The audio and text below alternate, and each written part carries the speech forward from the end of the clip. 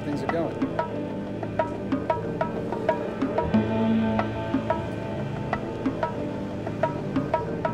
Let's have a mid-city fiesta with your West LA connection. Hop inside the vehicle, start crossing